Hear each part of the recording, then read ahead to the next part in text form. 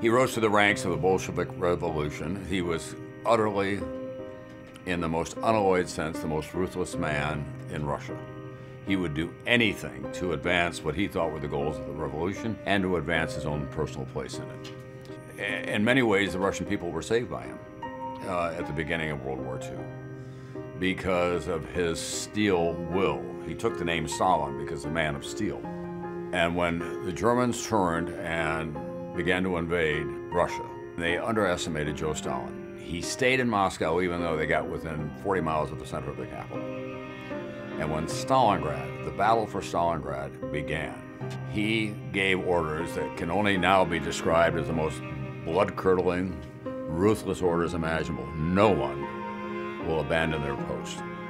And over the course of that fight, which went on for almost two years, almost a million people perished. And they had 400,000 people in a Russian battalion who were the enforcers. So if you thought you might give up, you'd get shot. And here, I think, is the most devastating portrait of Stalin uh, of all. The siege of Stalingrad was so great there was no food on either side.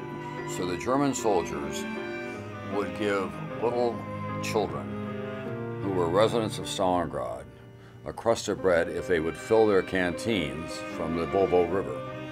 And as the children came back into Stalingrad, they were shot by Stalin snipers. That's how he consolidated his power the most uh, feared man in Russia, and with very good reason.